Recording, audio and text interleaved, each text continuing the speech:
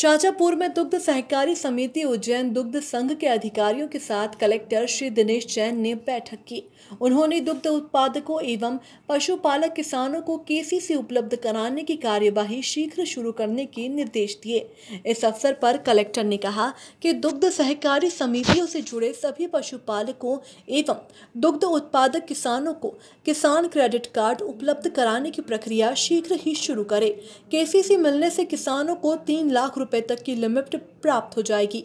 Collector ने प्रक्रिया को गति देने के लिए अनुविभागीय अधिकारियों एवं तहसीलदारों की मदद लेने के लिए भी कहा है। उल्लेखनीय है कि उज्जैन दुग्ध संघ से चार हज़ार आठ सौ चौपन किसान जुड़े हुए हैं। उप संचालक पशु चिकित्सक ने कहा है कि वे भी अपने फ़ील्ड स्टाफ को इस कार्य के लिए लगाएँगे। शाजापुर से मुकेश अहिरवार की रिपोर्ट।